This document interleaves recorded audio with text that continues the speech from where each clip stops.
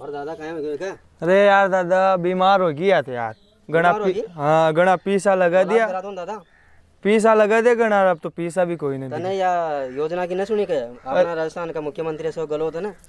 जिन्हें योजना चला रखी है ना मुख्यमंत्री काम दिनू बीमा योजना। चालीस हज़ार रुपये का बीमा है इसमें तो दो पशुओं के लिए। हाँ काई नहीं सुनी दादा इलाज होगा पशुओं का। महँगाई रात कैम्प में जाके रजिस्ट्रेशन कराया कि नहीं कराया तूने? नहीं कराया नहीं।